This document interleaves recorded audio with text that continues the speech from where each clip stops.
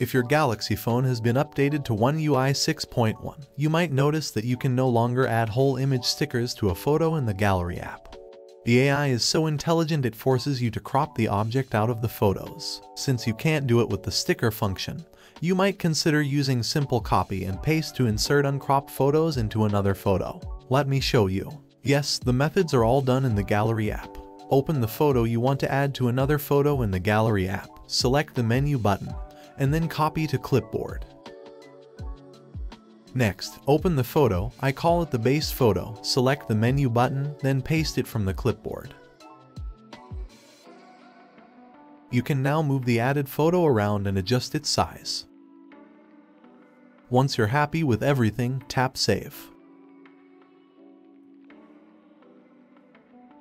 Of course, you can also use the collage feature to insert just one photo into another. The collage feature in the Gallery app does offer an overlay image style. Similarly, you can position the overlay photo to your preferred location and adjust the size.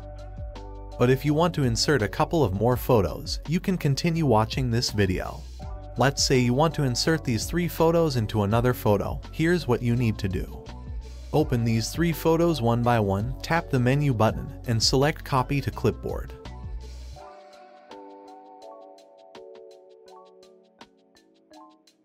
Alright, I have done it for the three photos. You can see that they are all copied to the clipboard from the Clipboard Edge panel.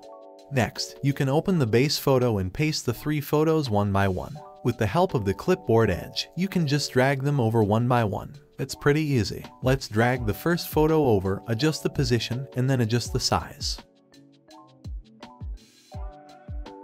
Once you're okay, tap Save.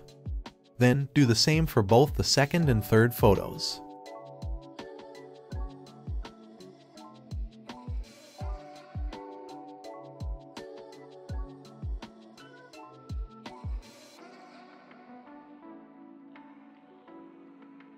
Alright, I think I'm done. Let's save it. That's it for this tutorial. I hope it gives you an idea of inserting photos into another photo on your Galaxy phone. Thanks for watching.